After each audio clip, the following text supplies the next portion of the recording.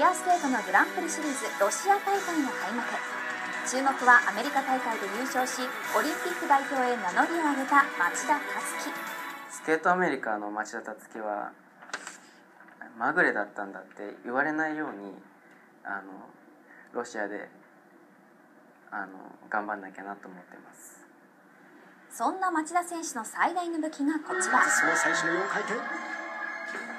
今シーズン抜群の安定感を見せている4回転ジャンプ。でも去年の全日本フィギュアでは4回転どころかジャンプ自体をことごとく失敗。町田選手にとってオリンピックは遠い存在でした。そこで崖っぷちの状況からソチを目指して取り組んだことが。コンパルソをやることによってジャンプにもスピンにも応用が効いてリンクを片足で滑るという地味に見えるこの滑りがコンパルソリー。実はこれ課題の図形を氷の上に描き姿勢と滑り跡の正確さを競う競技。以前はショートフリーに加え必須競技だったんです。今のフィギュアスケートのこの形が出来上がったのもやっぱりあフィギュアスケートの時代を逆行していけばやっぱ原点はやっぱコンパルソリーまあ、コンパルを通してエッジが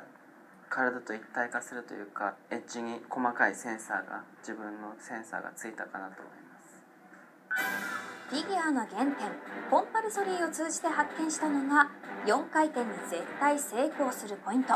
この丸の部分エッジのどこで踏み切れば成功するのかを見つけたんです。そんなこだわりの練習法を持つ町田選手はフィギュア界一の哲学マニア。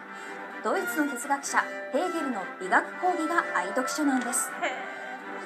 大会前の10月今シーズンのテーマを聞かれるとティムシェルっていう言葉は僕のショートプログラムの大きなコンセプトにもなってるんですけど日本語でよく訳されるのは「汝治むることをあたう」って読むんですけどあまりの難しさにただ笑うしかない他の選手たち浅田選手も？聞かないでください選手解説を。自分の運命は自分で切り開くという力強い、えーと、意味がこのティムシェルという言葉にあって。自らの運命は自ら切り開く。そんな町田選手が見つめる先には。ロシアファイナルでいい演技をしていい成績を取ったとしても多分全日本で失敗すればおそらくオリンピック出場権は得られないと僕は思っているのであの是が非でもあのピークを持っていきます。視線の先にあるのはソチオリンピック。最終選考会でもある全日本フィギュアで代表への道を切り開きます。